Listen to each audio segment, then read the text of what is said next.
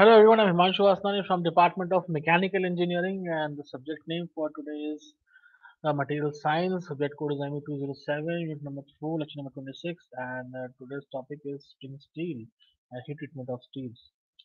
So learning objective for today's lecture is to provide the students with a basic understanding of spring steels and uh, heat treatment of steels. Learning outcome of today's lecture will be students will have learned students have learned the basics of steel, heat treatment of steels, and students have understood various types of spring steels and heat treatment of steels. So let's start with the today's lecture. So we have been studying about various materials in the past also. So now we are studying with the spring steels. The most suitable material for springs are those which can store up maximum amount of work on energy or energy in a given weight or volume of spring material. Now without permanent deformation. So these steels should have a high elastic limit as well as high deflection value. So the spring steels for aircraft and automobile purposes, okay, should possess maximum strength against fatigue effects and shock. The steels most commonly used for making springs are as follows, like high carbon steels. So before discussing all these kinds of uh, different kinds of steel, one of the most important thing that the most suitable material for springs are the those which can store up the maximum amount of work, okay, or energy in a given weight or volume of spring material without permanent deformation. Okay, so if this property is there, then the material is suitable for. So let's start with the high carbon steels. They say that these steels will contain 0.6 to 1.1% carbon, zero point 0.2 to 0.5% silicon, and 0.6 okay what 0.6 to 1% manganese. Okay, high carbon steels they contain zero point 0.6 to 1.1% carbon, uh, 0.2 to 0.5% silicon, and 0.6 to 1% manganese. So these steels are heated to 780 to 850 degrees centigrade according to the composition and quenched in oil or water. Okay, so it is then tempered at 200 to uh, say, 500 degrees centigrade to suit the particular applications.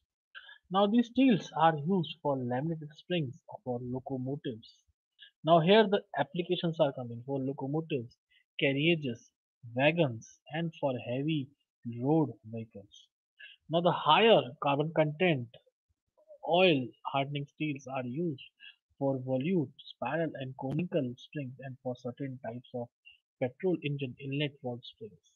So you can see the wide applications are there for high carbon steels. Okay, what they do, they have their particular composition and these steels are then heated to 780 to 850 degrees centigrade according to the composition and then quenched in oil or water.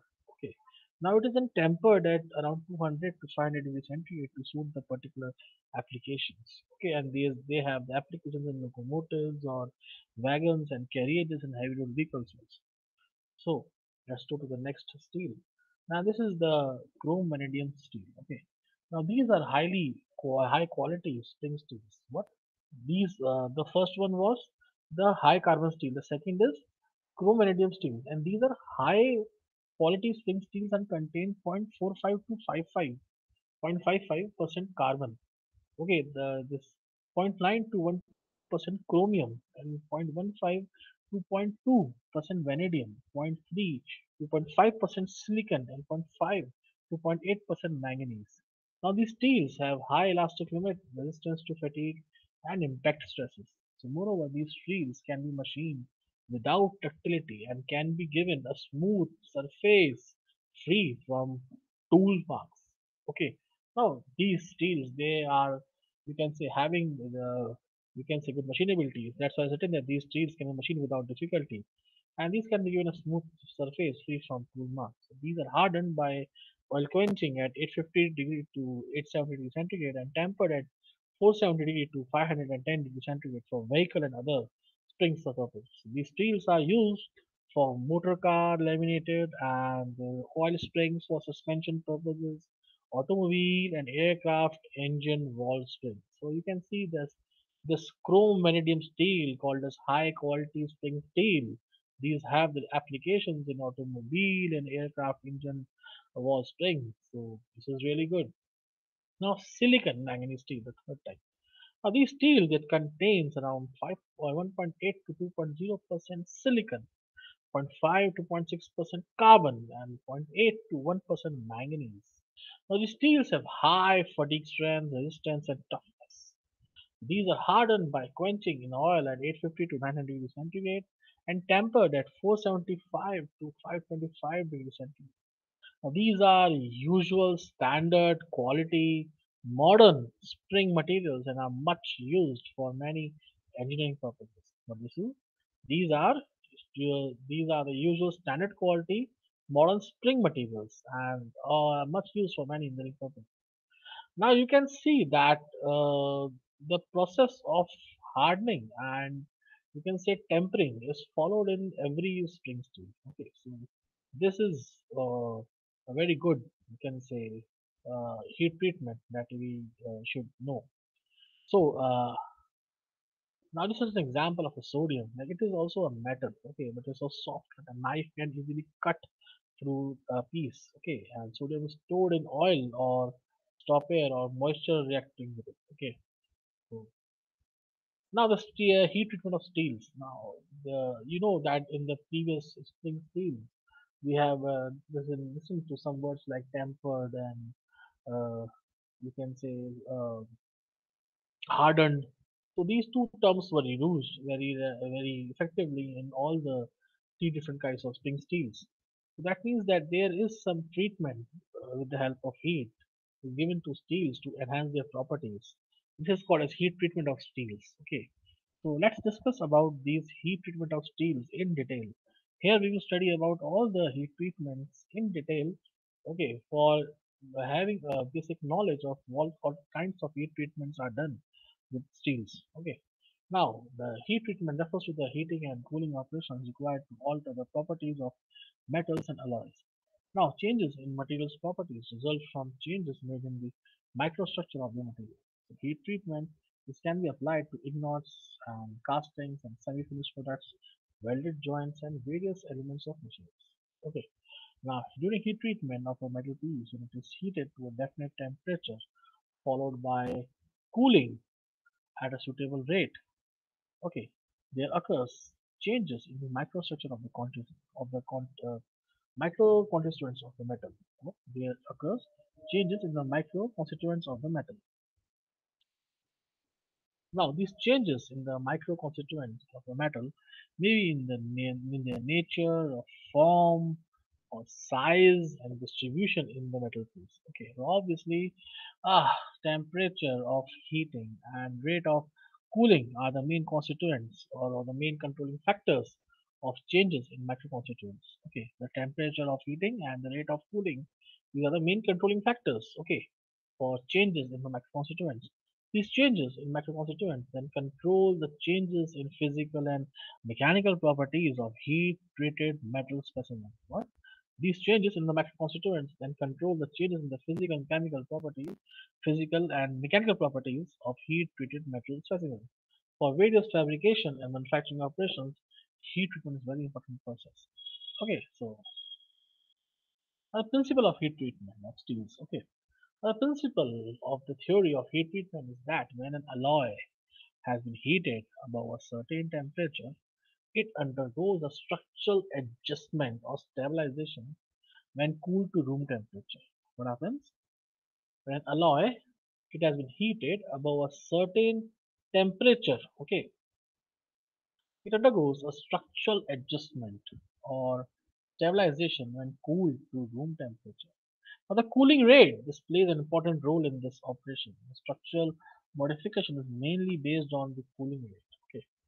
Heat treatment are normally applied to hypoeutectoid carbon steels because steel, the hypoeutectoid reaction in the iron carbon diagram involves the transformation and decomposition of austenite into pearlite, cementite, and martensite.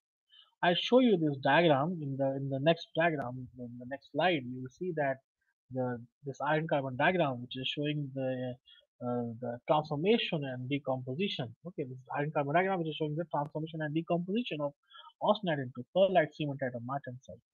Okay, and it will also show the temperature ranges and the heat treatment processes.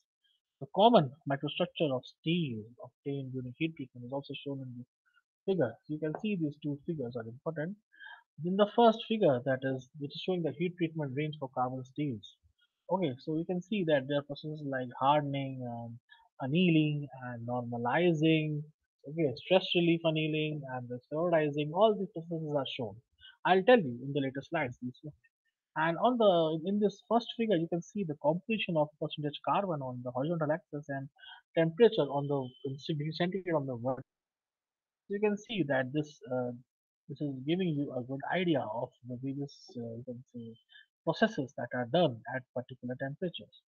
Then the second is the microstructure of steel.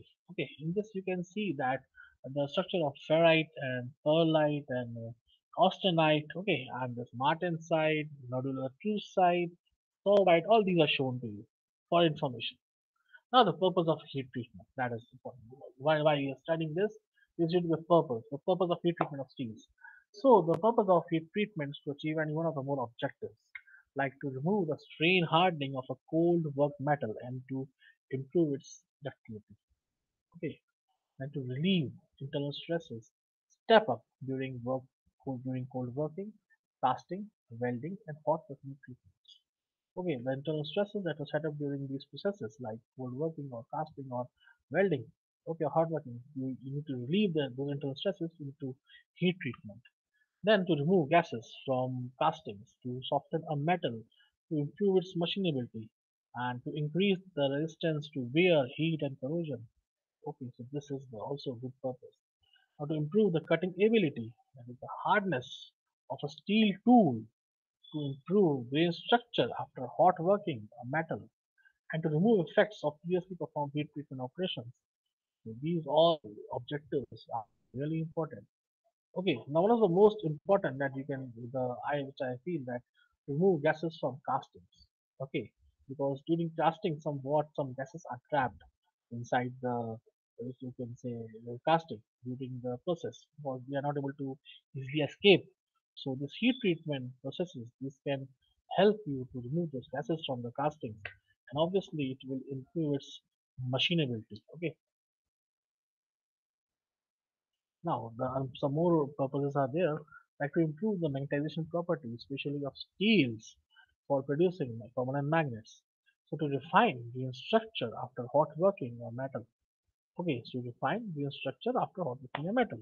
Now to soften and toughen a high carbon steel piece to soften and toughen a high carbon steel piece, to produce a single phase alloy in stainless steel, and to produce a hard wear resistance case on a tough core of a steel part, to harden non-ferrous metals and alloys, especially aluminum alloy, and to produce a single phase alloy in stainless steel to produce a hard wear resistance case on a tough core of a steel part and to toughen the hardened steel piece at the cost of its hardness.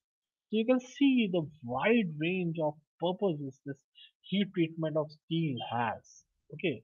Now you can see that to soften and toughen, to soften and toughen high carbon steel is also a very nice say application also. Okay. So now, the principal kinds of heat treatment are like annealing, normalizing, hardening, tempering, case hardening, uh, surface hardening. Okay, so each of them has number of varieties.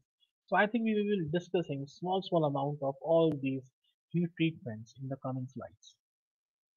Now let's start with the annealing. Okay, now this is a kind of a heat treatment after which a metal or alloy acquires a structure close to the equilibrium. So material is exposed to an elevated temperature for an extended time period and then slowly cooled. So normally annealing is carried out to reduce stresses, increase softness, ductility and toughness and or to produce a specific microstructure. Okay, in this what happens?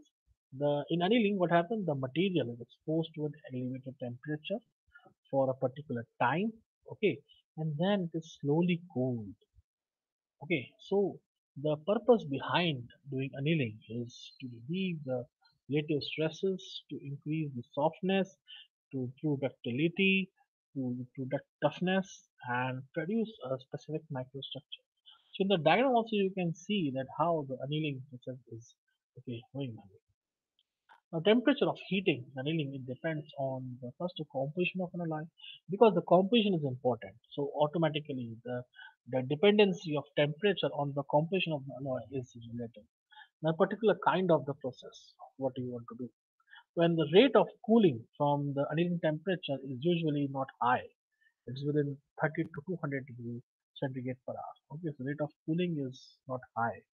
Okay, so there are a variety of annealing treatment processes.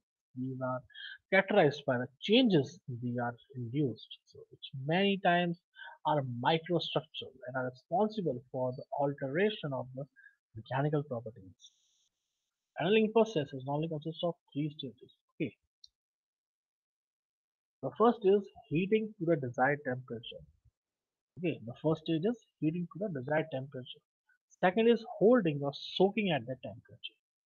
And third is cooling, usually to room temperature. Okay, so here they say that the rate of cooling for annealing temperature is not high, it is between 30 to 200 degrees centigrade per hour. So this all the three stages, these are important. Okay, first you heat the workpiece to desired temperature, then you hold it at that temperature, and then you, you cooled it usually to room temperature. So in these annealing processes, the time is an important factor. So there exist temperature variance between the outside and the inside portions of the piece during heating and cooling. Obviously, the outer surface will cool faster, the inner surface will cool slowly. Okay.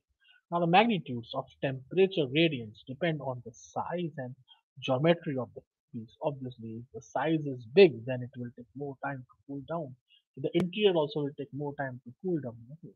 Obviously, the temperature temperature variance this depends on the size and geometry of that piece. Now, if the rate of temperature changes too great, temperature variance and internal stresses may be induced that may lead to wrapping or even cracking. So moreover, the actual annealing time must be long enough to allow for unnecessary transformation reactions. The Annealing temperature is also an important consideration. So since diffusional processes are normally involved and therefore annealing may be accelerated by increasing the temperature. The various types of annealing are like full annealing, process annealing, spheroidized annealing, and diffusion annealing. Okay, so we have to, uh, these are the four kinds of annealing process that are carried out. So the basic, uh, you can say, purpose behind annealing is to relieve the stresses. Okay, to relieve the stresses to improve the ductility of the material. So in this way, we go, we use the annealing process. Okay, now next is the normalizing process. So normalizing process is a process of heating the metal that alters the properties of the metal like uh, tensile strength, ductility, and also refines the grain structure. Okay. Now it is a type of uh, heat treatment applicable to ferrous metals only. Now here is the condition of normalizing process. It is saying that this heat treatment process of steel is, is applicable to ferrous metals only. Now in the normalizing process, the material is heated to an elevated temperature and after that it is cooled back by placing it in contact with air or at room temperature. Let me say, in this process, the material is again heated to an elevated temperature and after that it is cooled back by placing it in, the, with, in contact with air at room temperature. The process of cooling the metal with air is called as air quenching. So this is normalizing process is really interesting. They say this they heat the material to elevated temperature and after that it is cooled back by placing it in contact with air at room temperature and this process of cooling metal in air is called as air quenching. So this normalizing process changes the microstructure of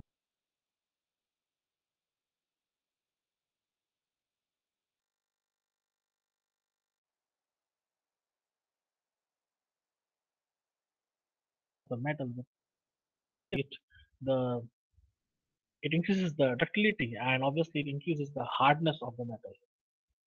Now normalizing is needed because ductility is decreased and hardness increased by different processes like hammering. Okay, so it is most commonly used to change the mechanical properties of metal so that it becomes easily serviceable and can be machined perfectly.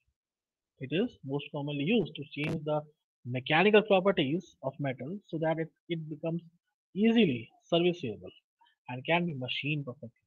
since heating is done above the upper critical temperature limit, so it automatically softens the steel and heating is done up to austenitic state and the softening of steel automatically relieves the locked in strain which in turn removes the residual stresses. So you can see this process is really smooth. Okay, this is really good. So in how, what the purpose was behind that, that uh, you need to increase the ductility of the material and increase the hardness of the metal. So this was the purpose behind normalizing process. Okay. Now you can see this normalizing temperature range with you. So on the x-axis you have this carbon content on which you have two kinds of steel available, hypoeutectoid steel and hypoeutectoid steel. Okay, the first one is hypoeutectoid uh, below 0.8% of carbon and after 0.8% of carbon you have hypereutectoid steel. Okay, now you can see that there is a lower critical temperature at 723 degrees centigrade. Okay, and above that you have the normalizing range. Okay, you can see this range upper side. So on the vertical axis, you can see the temperature as a gradient that is used. Okay, so this is how this normalizing temperature is range is shown with the help of the blue line for your information. Now normalizing process. Now in this process, the metal is heated to about 40 to 50 degrees Celsius above the upper critical temperature for that metal. Okay. Now the upper critical temperature depends upon the percentage of carbon present in that metal. Okay. The upper critical temperature it depends upon the percentage of carbon present in that metal. And the time for which the metal is heated should be chosen such that the heat transfer is uniformly spread throughout the metal. Okay. Now normally they say that they heat the metal to about 40 to 50 degrees centigrade. Okay, what they say that they heat the metal to about 40 to 50 degrees centigrade above the upper critical temperature. Okay, so whatever time you are choosing for heating the metal, it should be chosen such that the heat transfer is uniformly spread throughout the metal.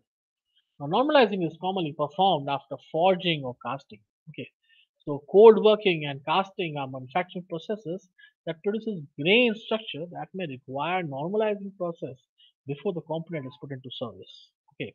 Now these two processes like cold forging, cold working and casting, they require they require this normalizing process before you put the component in service. So this is this is having its application now.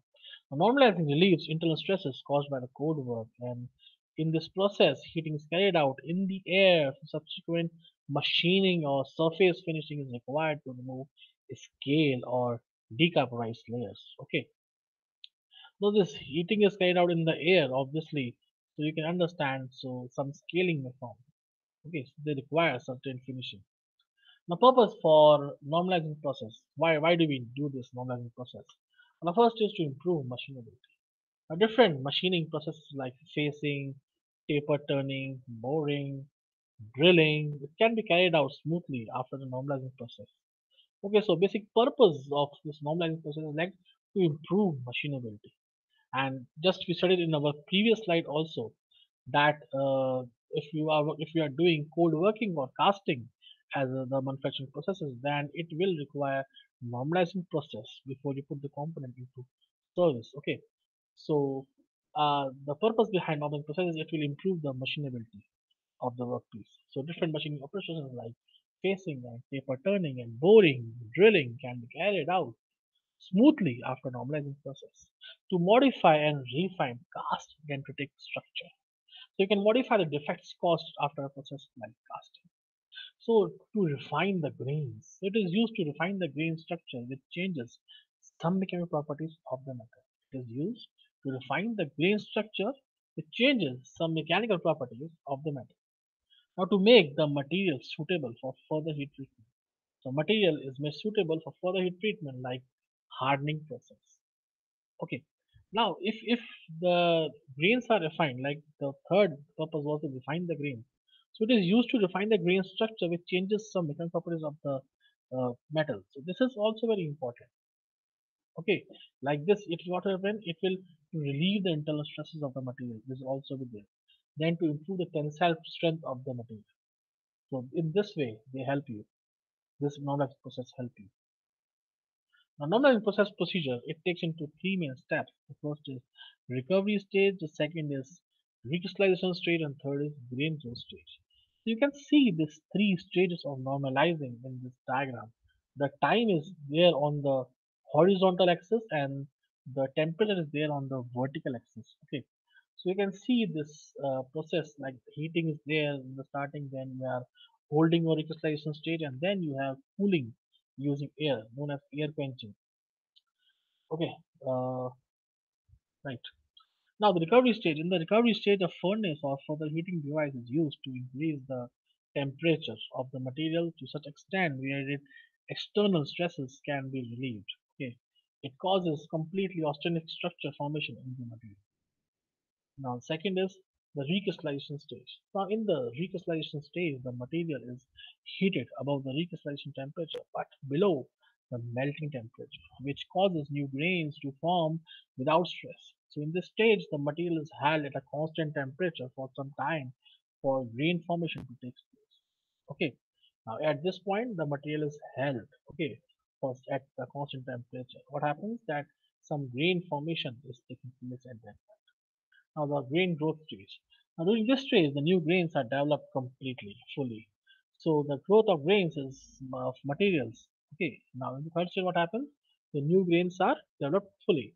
So the growth of grains is uh, material is controlled by allowing the material to cool at room temperature to room temperature by keeping the material in the air. That is air quenching. Now in this process, the rate of cooling is more than that of annealing process or cooling. So due to faster rate of cooling, we get more refined structure as compared to annealing.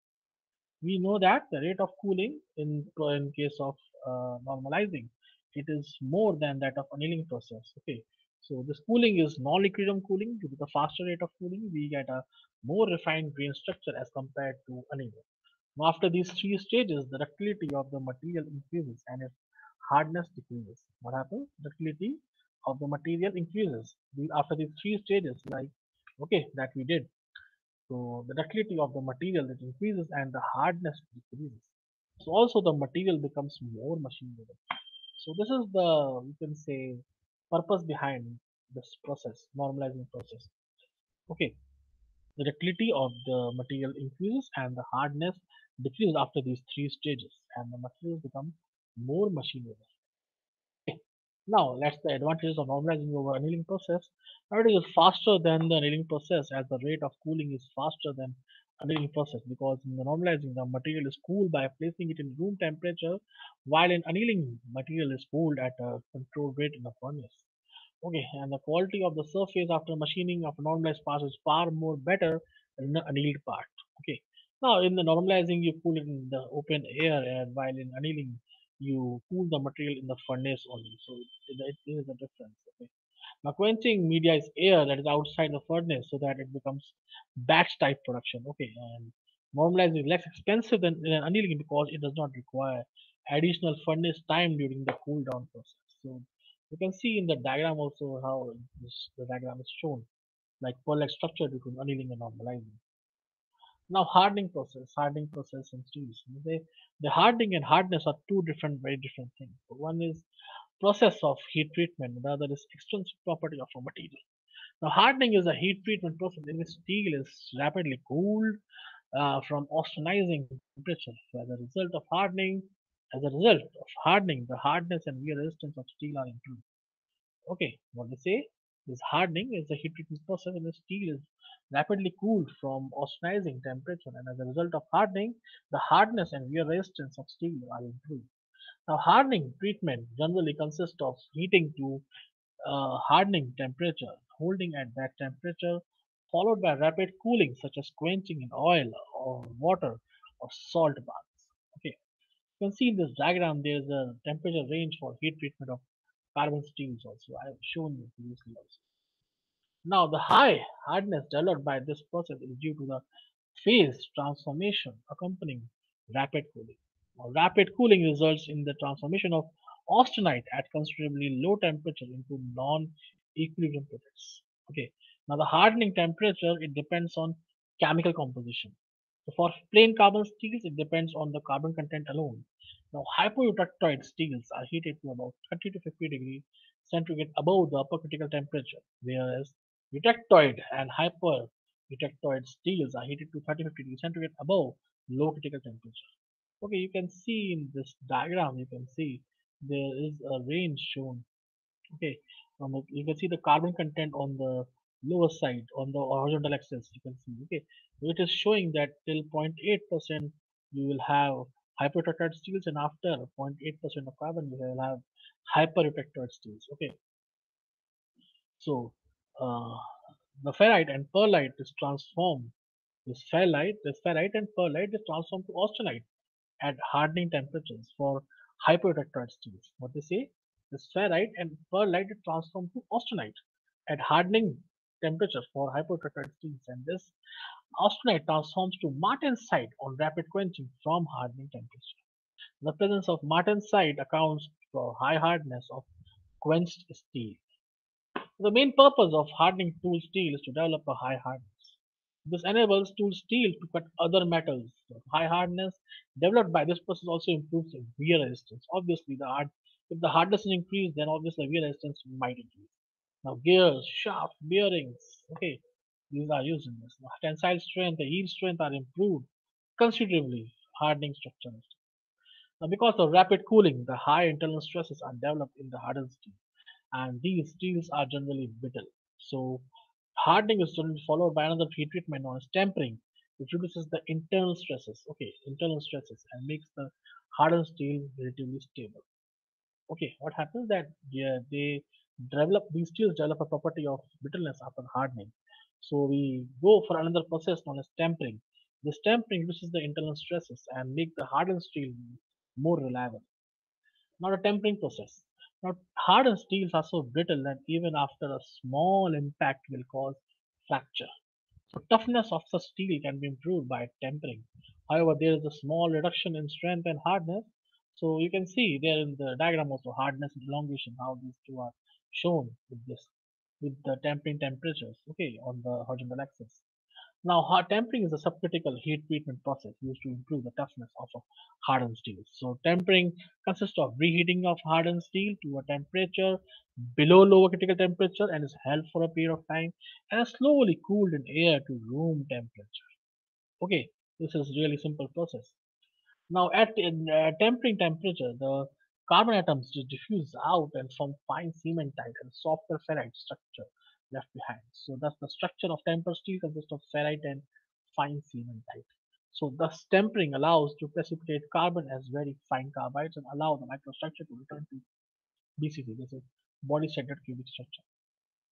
Now, the temperatures are related to the functions of the parts. So, cutting tools are tempered between 230 to 300 degrees centigrade. Huh? Cutting tools is are tempered between 230 to 300 degrees centigrade. If greater ductility and toughness are desired, as in case of shaft or high strength bowls, the steel is tempered to a range of 300 to 600 degrees centigrade.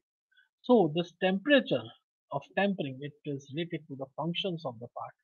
Okay, so we have to be careful that for what function you are utilizing that part. If you're using for a cutting tool, then it will be around 230 to 300 degrees centigrade. But if you are using for, you can say shaft or high strength bolts, then this temperature will rise up to 300 to 600 degrees centigrade. Now tempering temperature is usually defined, identified by the color. Okay. Now tempering temperatures for tools and shafts along with temper colors, these are shown. Now in tempering, depending on temperatures, the temperature is classified as low temperature tempering, medium temperature tempering, or high temperature tempering.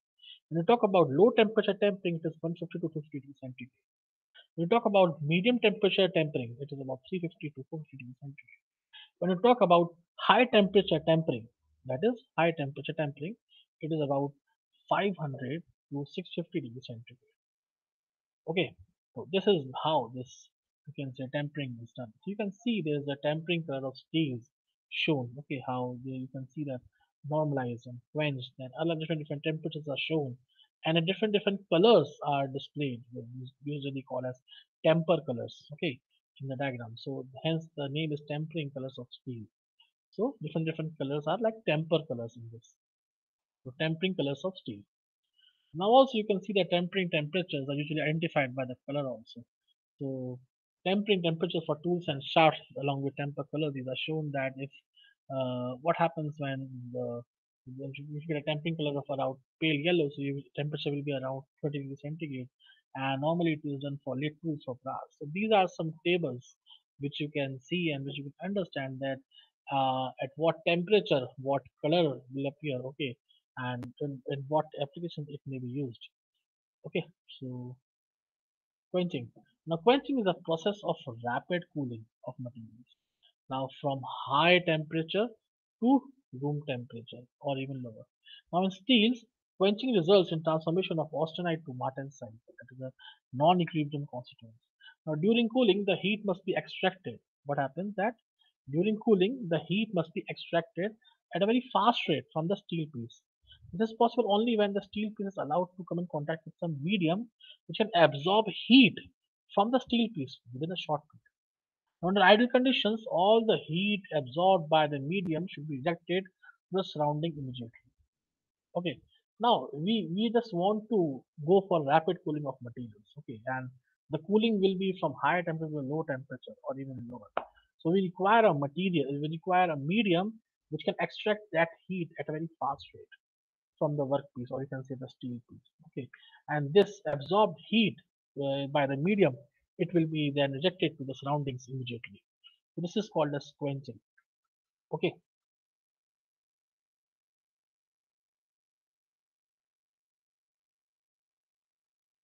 Effect of quenching medium. The quenching medium has a profound effect on the final phase of the material. So quenching medium is directly related to the rate of cooling of the material.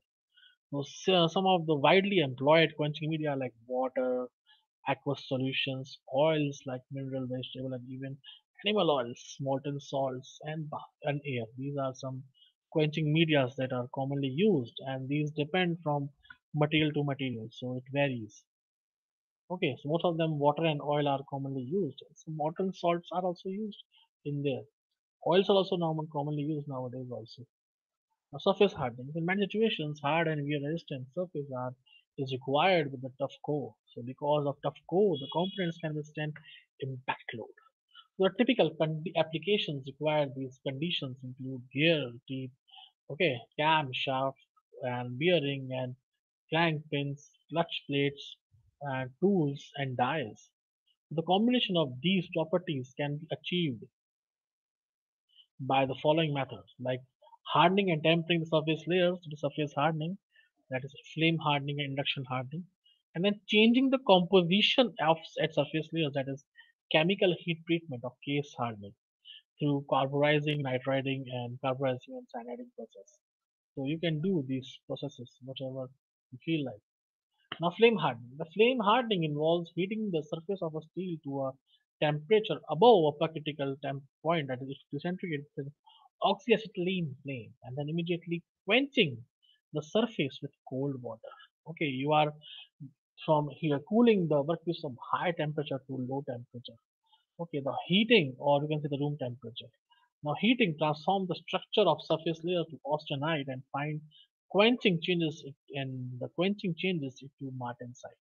So you can see this how this is done. We can using an oxyacetylene flame for heating and then cooling with the cold water. It's called flame hardening. Induction hardening. The induction hardening this involves the placing the steel. You can see in the diagram of uh, flame hardening how it is doing. Okay, it is quite interesting. Okay. Now induction hardening. Induction hardening involves placing the steel components within the coil through which high frequency current is passed. Okay, what happens in this? In induction hardening, it involves placing the steel components within a coil through which a high frequency current is passed. The current in the coil induce eddy current in the surface layers and heat the surface layers up to austenite state. Now then the surface is immediately quenched with cold water to transfer the austenite to martensite. So this principle is called as induction hardening. What they are doing, they are placing a steel component within a coil or through which the high frequency current is passed Okay, the current is in the coil induce eddy current at the surface layers and heat the surface layers up to austenite state. So this is simple shown in the diagram also which you can easily see. The carburizing process. So carburizing carried out on steels containing carbon less than 0.2%. 0.2%. It involves increasing the carbon contents on the surface layers up to 0.7 to 0.8%, which is impressive. Okay, 0.7 to 0.8%. Now in this process, the steel is heated in contact with the carbonaceous material from which it absorbs the carbon. So this method is mostly used for securing hard and this for securing hard and wear resistant surface. What is used for securing hard and wear resistant surface with tough core carburizing is used for gears and cams and bearings and clutch plates. Okay, you can see in the diagram how it is done. Now nitriding. Now nitriding involves diffusion of nitrogen into the product to form nitrides. The resulting nitride case can be hard than the carburized steel and the process is used for alloy steels containing alloying elements like aluminum, chromium and molybdenum which form stable nitrides. Okay, they form stable nitrides so they are used for those alloy steels which contain these alloying elements like chromium, aluminum and molybdenum. Now nitriding consists of heating a component in a retort to the temperature of about 500 to 700 degrees centigrade. So through the retort, the the aluminum with the retort, the ammonia gas is allowed to circulate. And at this temperature, the ammonia dissociates by the following reaction. You can see the reaction. Then the atomic nitrogen diffuses into steel surface and combines with the alloying elements that is chromium, molybdenum, vanadium to form hard nitrides. The depth of which nitrides are formed in the steel depends on the temperature. The depth to which nitrides are formed in the steel, you are in the steel, it depends upon the temperature and the time allowed for the reaction. So after the night nitriding, the job is allowed to cool slowly. After night nitriding, the job is allowed to cool slowly. So since there is no quenching involved, the chances of cracking or distortion of the components are less. Now the cyaniding process is similar to carbonitriding. Cyanide is also involved in the diffusion of carbon into and nitrogen into the surface of steel. Diffusion of carbon and nitrogen both into the surface of steel, is called liquid carbonitide.